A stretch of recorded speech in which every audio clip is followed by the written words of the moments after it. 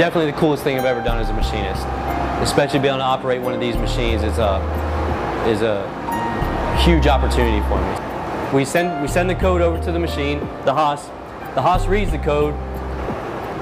From there, it's a matter of just letting the machine know where we want to print. So we'll use uh, the probe. It's just like this little bitty, uh, two and a half inch long with a ruby like tip ball on the end of it. And that's what we use to find the part. Once that's uh, been determined, we just hit cycle start, the weld head deploys, and it just starts laying these nice pretty little, little stainless steel beads.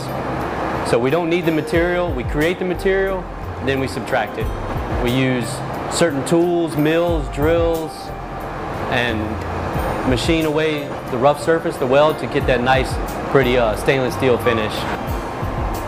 To take that part out of the machine for the last time, blow off the coolant, blow away the chips, and see the final product is, is always very, very rewarding. Just recently we created a sprayer plate for the number 6 DBAC and it's, it's designed to disperse uh, lubricating and cooling oil on the helical gears as well as the bearings behind the helical gears. And it was all fully manufactured on the ship.